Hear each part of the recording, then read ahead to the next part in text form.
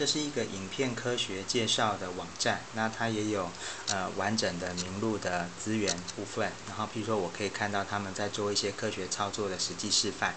那这应该也是会有一个网站，我会再找一下来做介绍。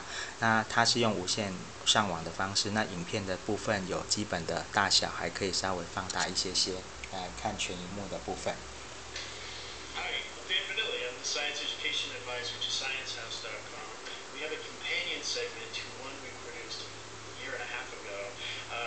那我们在看影片的过程中，可以去直接拉动它的速度，还有就是它的播放速度。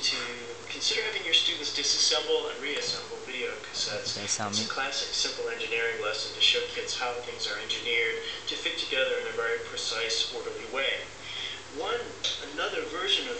OK。